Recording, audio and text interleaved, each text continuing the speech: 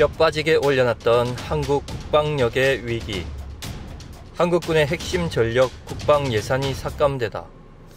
거의 넉 달 만에 코로나19 신규 확진자가 눈에 띄게 감소했습니다. 특히 새 정부는 코로나로 인한 영업 제한으로 피해를 본 소상공인을 대상으로 33조 원 플러스 알파 규모의 추가 경제 예산안을 편성하기 위해 국방 예산을 대폭 삭감했기 때문입니다. 1번만 좋게 생겼네요. 반갑습니다. 구독자분들과 함께 성장하는 밀리터리 채널 생활탐구입니다. 우크라 러시아 전쟁, 중국과 대만의 전쟁 가능성, 북한의 미사일 및 핵도발 등 불안한 상황에서 급히 추진해야 될 방위력 개선 부분 사업이 5,550억 원이나 대폭 삭감된 건 지금까지 뼈 빠지게 올려놨던 대한민국의 국방력이 자칫 몇 년 전으로 후퇴될 위험성도 보입니다.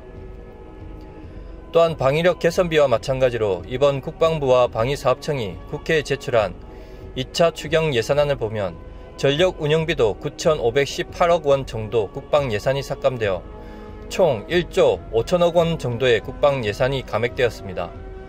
삭감된 국방 예산을 잠시 살펴보겠습니다. 삭감 현황 국지방공 레이더 290억에서 228억 62억 삭감 이동형 장거리 레이더 108억에서 36억으로 72억이 삭감되었고 항공 관제 레이더 235억에서 185억 150억이 삭감되었습니다.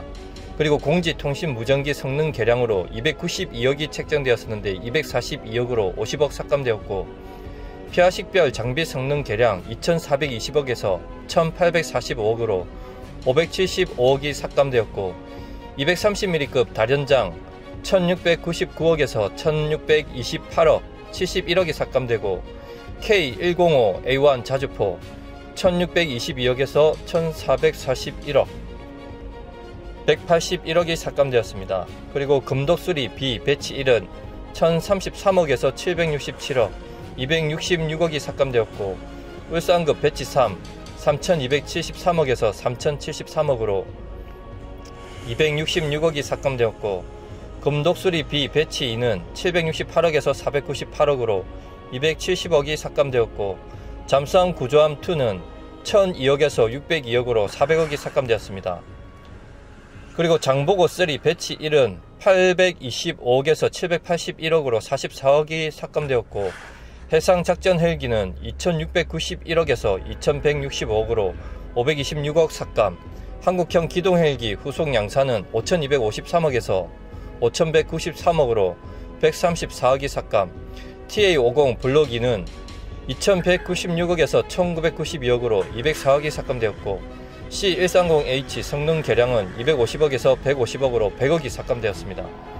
그리고 해상 초계기 2 3051억에서 1692억으로 1359억이 삭감되었고 F-35A 성능 개량은 200억에서 150억으로 50억이 삭감 GPS 유도폭탄 4차 사업은 1509억에서 1268억으로 242억이 삭감되었고 전술 지대지 유도 무기는 988억에서 500억으로 438억이 삭감 신속 시범 획득은 302억에서 202억으로 100억이 삭감되었습니다. 이는 각 부처의 지출 구조 조정을 통하여 확보된 예산 7조 원 중에 23%로 중요 국방 예산을 삭감해 마련한 것이죠. 2022년 현재 정부 총 예산은 607조 7천억 원 정도 됩니다. 이 가운데 올해 국방 예산은 총 54조 6천억 원으로 9% 수준인데 추경 재원 7조 원을 마련하기 위해 23%를 국방 예산을 삭감해 충당한 것은 안보를 뒷전으로 미뤘다는 말이 나오는 것이 당연한 것이죠. 먼저 방위령 개선비에서 유사시 한국군의 공중 침투 능력 강화를 위해 편성되었던 C130H 다목적 공중급유 수송기의 성능 개량 사업은 기존 예산에서 40%에 해당되는 100억 원이 삭감되고 F-35A 스텔스 전투기는 성능 개량을 위해 필요했던 예산 중에 50억 원이 삭감되었고 또 예전에는 비싸서 도입하지 못할 거라고 했던 P-8A 포세이돈은 2016년부터 북한의 SLBM 개발이 예상보다 빠르게 진행되자 안보 위협에 대한 대비를 위해 작전 능력이 보다 향상된 해상 초계기 P8A를 도입하는 해상 초계기 이 사업 예산도 100억 원이나 삭감되었고 그리고 썩을 대로 썩은 전투기 F5 훈련대대 해체로 부족한 훈련기 수요를 보충하기 위해 추진되었던 TA-50 훈련기의 추가 구매 예산은 200억 이상 삭감되면서 향후 노후 전투기 교체 사업도 차질이 빚어질 것으로 예상됩니다. 이외에도 육군이 보유한 노후 헬기 교체를 위해 추진한 한국형 기동 헬기의 후속 양산 사업도 예산이 60억이나 날아가 버렸고 주변국인 중국과 일본에 비해 열세인 한국 해군 함정에 원거리 수상, 수중 표적 탐지와 공격 능력 향상을 위해 도입하려던 해상 작전 헬기의 국외 도입 사업 예산도 526억이나 삭감되면서 심각한 수준이고 한국 해군이 보유 중인 나이가 빠진 함정을 교체하기 위해서 확보한 예산들도 전부 날아가 버렸습니다.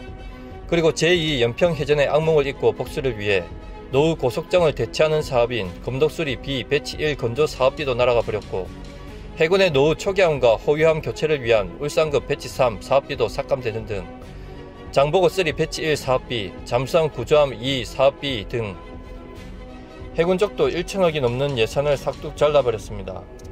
당장 사고가 발생했던 공군의 훈련기 부족과 낡은 해군 함정 교체 사업도 이렇게 심각한 수준인데 유사시 북한의 선제 공격에 따른 공중, 지상, 표적 탐지 및 타격을 위해 준비했던 예산도 마음대로 삭감되었습니다.